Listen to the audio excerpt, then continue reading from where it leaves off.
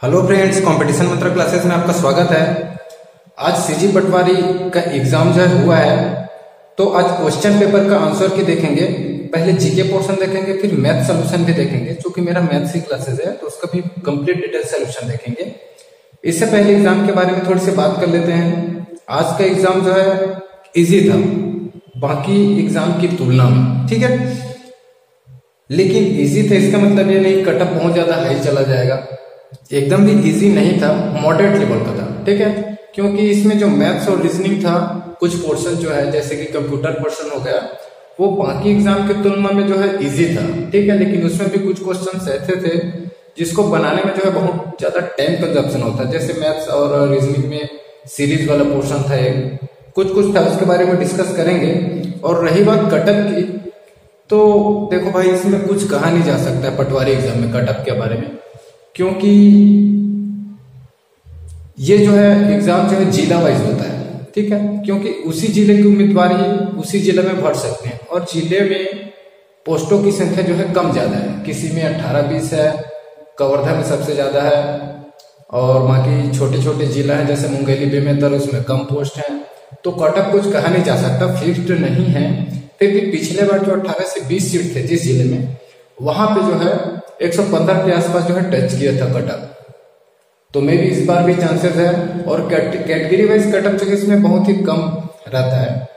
जैसे किसी किसी एग्ज़ाम में होता है व्यापक में कि 10 से 15 नंबर का जो डिफरेंस रहता है कैटेगरी में पटवारी में ऐसा नहीं होता है। चार पाँच नंबर का ही फ़र्क रहेगा कैटेगरी वाइज में, ज़्यादा फ़र्क नहीं पड़ने वाला। तो यदि आपका नंबर जो है 110 के आसपास आ रहा है 110 क्वेश्चन आपसे सही बन जा रहे हैं तो मे भी चांसेस रहेगा इसमें। ठीक है? तो पहले जीके पोर्शन का जो है आंसर की देख लेते हैं और आप जो सॉल्व किए हैं, उसको मैच कीजिएगा एक बार। तो पहला जो क्वेश्चन है, ये सेट बी है, ठीक है? तो इसमें जो पहला क्वेश्चन था, वो है रोम रोम है रीड ओनली मेमोरी ठीक है? रोम का फुल फॉर्म क्या होता है? रीड ओनली मेमोरी होता है। तो ये रोम जो है, क्या होता है? स्थायी मेमोरी हो जाएगा, ठीक है? दूसरा क्वेश्चन है एक्सेल में सूत्र का प्रारंभ खाली स्थान से होता है। आपको ऑप्शन था ये साइन का तो इसमें जो है इक्वल साइन से होता है। ठीक है? ये करेक्ट आंसर हो जाएगा। डीवीडी की संग्रहण की क्षमता होती है। आपका ऑप्शन दिया है सीडी से ज़्यादा सीडी से कम सीडी के समान और उपरोक्त में से कोई नहीं। तो इसमें जो है सीडी से ज़्यादा हो जाएगा डीवीडी का, क्योंकि सीडी का कितना होता है? अप्रोक्स सात सौ। सात सौ से स्टार्ट होता है। सात सौ एमबी में होता है। ठीक है? और वही डीवीडी का कितना होता है? फोर पॉइंट सेवन जीबी से स्टार्ट होता है एट जीबी तक। ठीक है? तो डीवीडी का डेफिनेटली ज़्यादा ही होगा, ठीक है? अगला क्वेश्चन दिया है एम एस वर्ड किस पैकेज का हिस्सा है? M S dot M S PPT Linux M S Office तो इसका करेक्ट आंसर जो है एम एस ऑफ़िस का होता है। पांचवा क्वेश्चन है, निम्नलिखित में से कौन सा इंपैक्ट प्रिंटर है? तो देखो इंपैक्ट प्रिंटर क्या होता है? जो किसी दबाव के कारण जो कैरेक्टर प्रिंट करता है, वो इंपैक्ट होता है। ठीक है? दो टाइप के होते हैं इम्पैक्ट नॉन इम्पैक्ट ठीक है, जिसमें दबाव नहीं दिया जाता है नॉन इम्पैक्ट में, जैसे लेजर प्रिंटर वगैरह हो गया। तो इसका जो सही आंसर है इम्पैक्ट प्रिंटर पूछा है लेजर इंकजेट डॉट मैट्रिक्स तो ये डॉट मैट्रिक्स जो है इम्पैक्ट प्रिंटर का उदाहरण है, क्योंकि उसमें दबाव देना पड़ता है, ठीक है? छपाई करने के लिए। अगला क्वेश्चन छठवा गणित की गणनाएँ की जाती हैं रैम में ब्रह्मा मेमोरी में सीयू में एलयू में। तो ये होता है एलयू और एलयू का फुल फॉर्म क्या होता है? अर्थमेटिकल लॉजिकल यूनिट ठीक है? तो यही जो है गणित और तार्किक जो संक्रियाएँ होती है, वो कंप्लीट होती है। अगला क्वेश्चन है क्विक हिल खाली स्थान है। ऑपरेटिंग सिस्टम है एंटीवायरस सॉफ्टवेयर है प्रोग्रामिंग भाषा है वायरस का प्रकार है तो क्विक हिल जो है एंटीवायरस सॉफ्टवेयर है। ठीक है? अगला क्वेश्चन है गूगल क्रोम क्या है? Search engine browser web server internet तो ये जो है गूगल सर्च इंजन है। नौवा क्वेश्चन है। निम्नलिखित में से कौन सा फ़ंक्शन कैटेगरी एक्सेल में नहीं है? लॉजिकल डेटा सीरीज़ वित्तीय टेस्ट तो इसका करेक्ट आंसर जो है डेटा सीरीज़ आएगा। ठीक है? यहाँ जो राइट लगा है, उसको मत देखिएगा। ठीक है?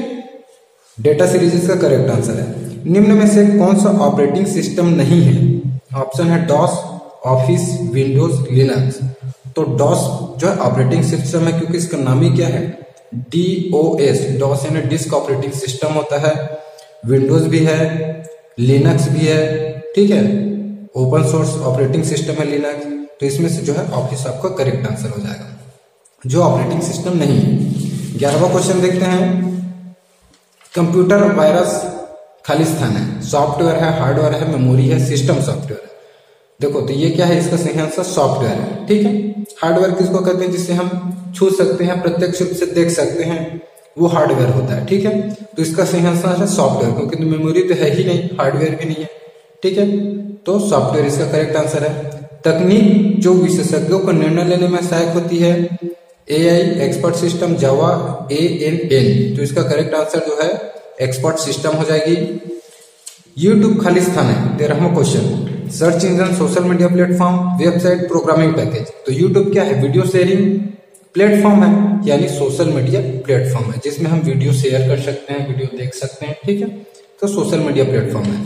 चौदहवा क्वेश्चन है विंडोज़ के पास कौन सा इंटरफेस होता है? तो उसके पास होता है G U I interface G U I का फुल फॉर्म क्या होता है? ग्राफिकल यूज़र इंटरफेस ठीक है? अगला क्वेश्चन है, पंद्रहवा स्कैनर खाली स्थान है। आउटपुट डिवाइस है इनपुट डिवाइस है स्टोरेज डिवाइस है, उपरोक्त में से कोई नहीं है। तो जो स्कैनर होता है या फोटोग्राफिक कैमरा होता है, वो सब क्या होता है? इनपुट डिवाइस होता है, वो कैप्चर करता है। ठीक है, इसलिए स्कैनर क्या होता है? इनपुट डिवाइस होता है। अगला क्वेश्चन देखते हैं। विंडोज़ में कॉपी की शॉर्टकट की कौन सा है इसमें से? Control A control B control C तो इसका सही आंसर है कंट्रोल सी ठीक है कॉपी का शॉर्ट शॉर्टकट की है। निम्नलिखित में से कौन सा सुपर कंप्यूटर कंप्यूटर है? इंटेल मिनी माइक्रो परम तो देखो परम जो है क्या है? सुपर कंप्यूटर है। ठीक है? मल्टीमीडिया एक प्रकार का खाली स्थान पटल है। प्रोग्रामिंग भाषा ऑपरेटिंग सिस्टम एप्लीकेशन प्रोग्राम संवाद। तो इसका करेक्ट आंसर है एप्लीकेशन प्रोग्राम है। ठीक है? डब्ल्यू डब्ल्यू डब्ल्यू है। ये तो हर एक एग्ज़ाम में हर कोई बनाया होगा। वर्ल्ड वाइड वेब होता है इसका फुल फॉर्म कंप्यूटर का मस्तिष्क किसको कहते हैं? एलयू मेमोरी सीक्यू सीयू। इसमें मेमोरी मत डालिएगा इसका आंसर है सीपीयू। सेंट्रल प्रोसेसिंग यूनिट को ही कंप्यूटर का मस्तिष्क कहते हैं। अब देखते हैं हिंदी का। ये बीस कंप्यूटर क्वेश्चन थे। आगे जो है, हिंदी दिया हुआ है। इक्कीसवा क्वेश्चन? आप अपने सेट में चेक कर लीजिएगा। ये जो है, सेट बी है। ठीक है? अलग अलग सेट में अलग अलग जगह पे दिए रहते हैं क्वेश्चन।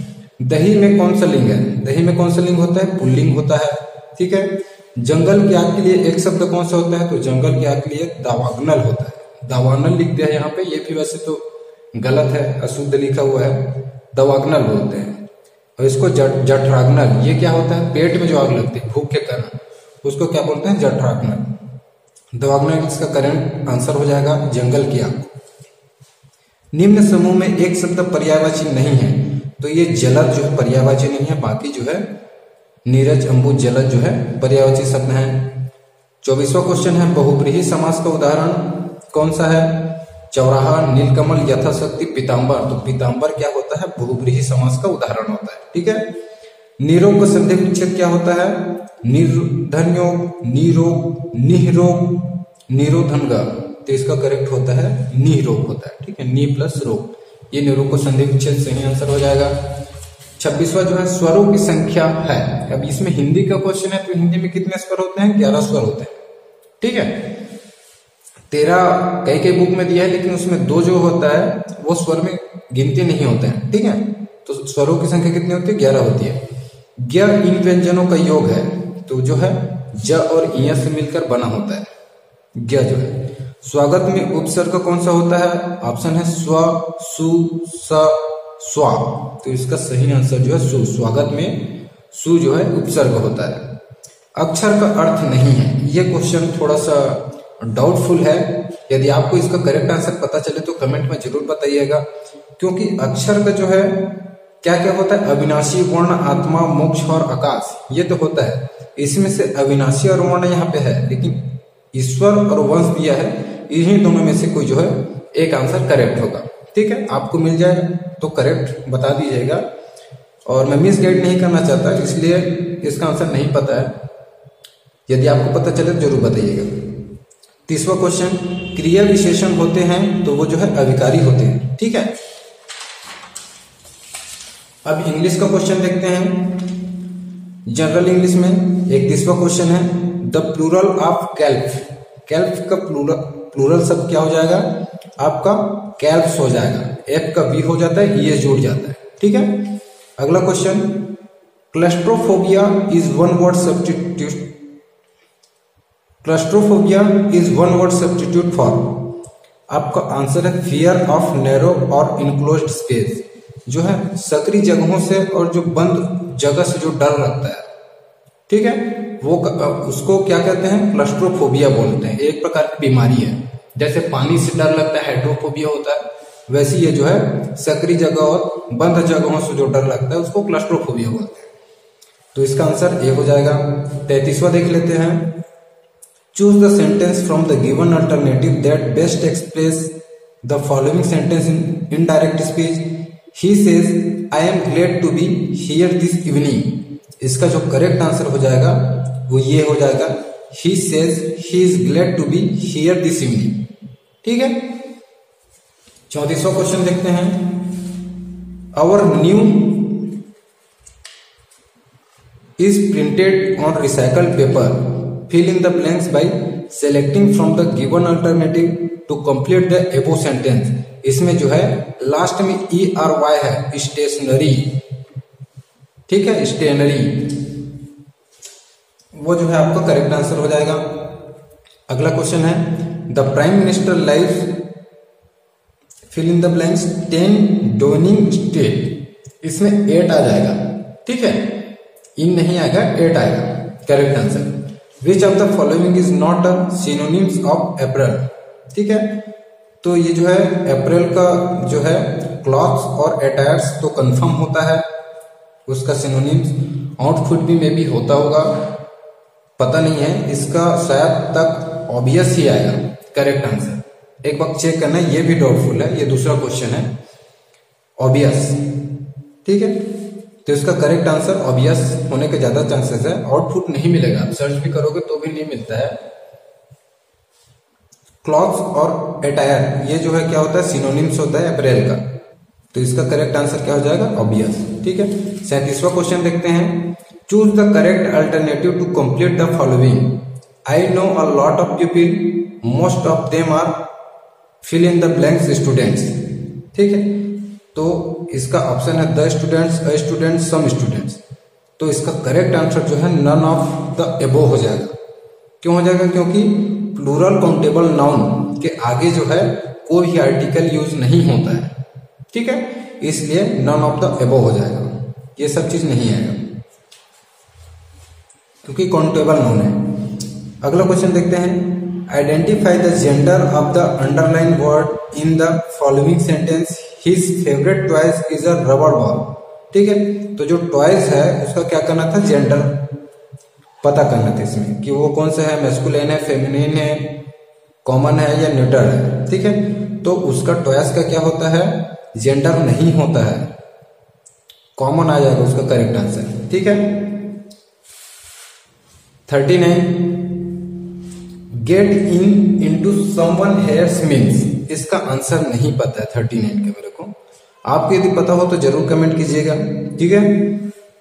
अभी थोड़ा सा डाउटफुल है ये। Forty question identify the expression that best transform the following sentence into the passive form there was somebody following us we are followed we are being followed we were followed we were being followed तो इसका जो correct answer होना चाहिए वो B है। We are being followed someone someone भी वैसे रहना चाहिए था क्वेश्चन में। वी आर बींग फॉलोड बस यहीं तक दे दिया है, जबकि यहाँ पे बोला समबडी तो ये रहना चाहिए था, ठीक है? तो इसका करेक्ट आंसर हो जाएगा we are being followed by someone ठीक है? यानी आपका करेक्ट आंसर बी हो जाएगा। अगला जो पोर्शन है मैथ्स का, उसको कंप्लीट सोल्यूशन हम लोग देखेंगे, ठीक है? क्योंकि वीडियो लंबी बन जाएगी। इसलिए अगले वीडियो में मैथ्स का सोल्यूशन देखेंगे। यदि मेरे द्वारा दी गई जानकारी आपको अच्छी लगी हो तो चैनल को ज़रूर सब्सक्राइब कर लीजिएगा। मिलते हैं अगले वीडियो में। तब तक के लिए धन्यवाद।